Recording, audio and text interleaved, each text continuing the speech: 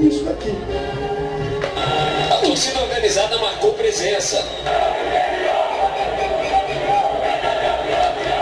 O otimismo também. Eu acredito que o Tupi vai ganhar de 2 a 0 sem, sem problema nenhum. 3 a 0 Pra ficar na moral, pra jogar lá, os outros temerem um bocadinho. Não é muito não? Não, lá o jogo foi fraco, vai ser bom aqui. O Galo só precisava evitar uma derrota, em casa.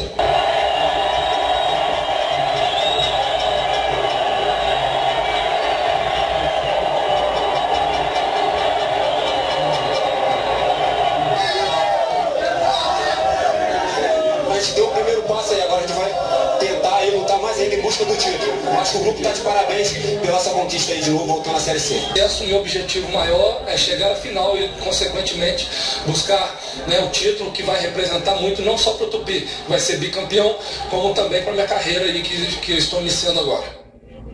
Tá aí o excelente treinador Felipe Surião. Um abraço para você, Felipe. Parabéns, viu?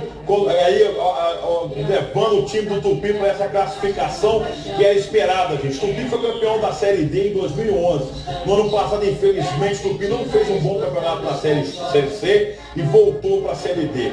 E de forma honrosa, jogando bola, o Tupi volta para a Série C. E espero que, gente, olha, pessoal aí, os empresários de fora, pessoal, vamos apoiar o Tupi, Série C, montar aí um forte campeonato pro ano que vem, que o Tupi tem tudo para chegar na Série C bem também subir para B. E vai enfrentar o Juventude sábado, primeiro jogo, sábado, lá no Rio Grande do Sul, em Lajeado, a semifinal lá em Lajeado, a 120 km de Porto Alegre. É o Juventude mesmo, é aquele que jogar a Série A, que foi descendo, é aquele que foi campeão da Copa do Brasil. Olha esse lance aí, volta esse lance aí. Ô, Davi, por favor, volta esse lance. A comemoração do rapaz ali, eu entendo que o gol é um momento de eterna alegria, mas tem que explica aí, gente, o que foi isso? Hein? Aquele ali foi uma tentativa de. de, de, de... O que é aquilo ali?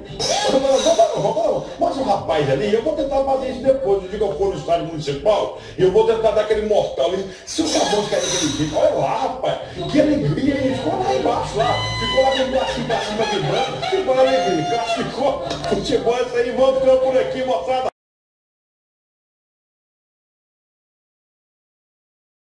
Camila, boa tarde, agora sim. Boa tarde, Érica, boa tarde ao pessoal de casa, de volta e em grande estilo. Depois de uma trajetória que mais parecia roteiro de filme, direito à participação especial do massagista da Aparecidense, decisão na justiça e empate na primeira partida contra o Misto, o Tupi deixou para conquistar a vaga jogando em casa, bem pertinho da torcida. E quem foi ao estádio municipal radialista Mário Helênio se emocionou em uma partida para corações fortes. A torcida compareceu em peso ao estádio municipal. Para os torcedores do Carijó, a partida mais esperada dos últimos tempos merecia uma vitória histórica e nem precisava ser de goleada. Pode não ser goleada, mas pelo menos é uma partida um resultado é, razoável que leve o, o, o time para outra, outra série, está muito bom, hein? Não precisa é, querer ir com muita, muita sede ao pote, que senão não, não, não consegue chegar lá. Verdade, é tudo.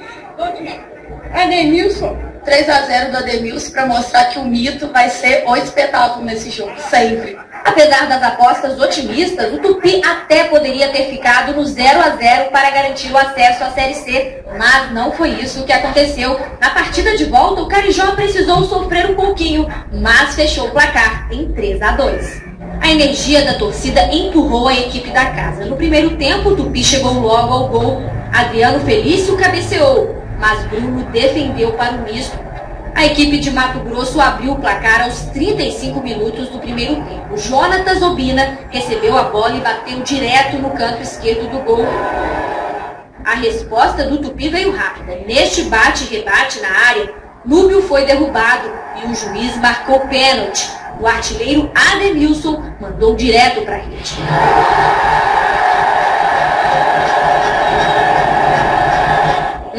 Cobrança de falta do zagueiro Cal, o goleiro Vitor defendeu com classe e a bola foi para a linha de fundo. Logo no começo do segundo tempo, Henrique cruzou a bola para Michel, que estava livre. O meia comemorou com a torcida.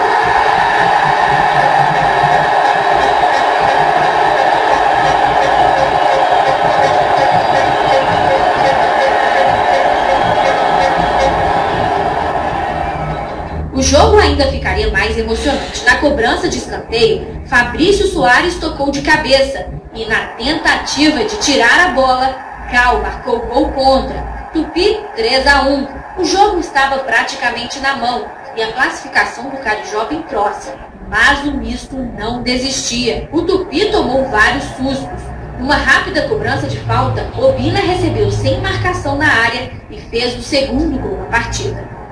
Em alguns momentos, a bola quase escapou das mãos de Vitor. Por pouco, o Carijó não fez mais um. Aos 40 minutos, Ademilson cruzou para Henrique, que chutou mal. Confusão nos lances finais da partida. Neste contra-ataque de Ademilson, Felipe Tchelé foi para cima. O juiz expulsou o jogador do misto e revoltou o resto da equipe. A polícia entrou em campo e protegeu o árbitro. Mais jogadores foram expulsos. A equipe visitante ficou com apenas sete em campo e o jogo seguiu até os 51 minutos, até o apito final. Tupi 3 a 2. A torcida comemorou. Tupi de volta à Série C e classificado para a semifinal da Série B. Graças a Deus, o trabalho foi coroado com. Sai, sai, sai.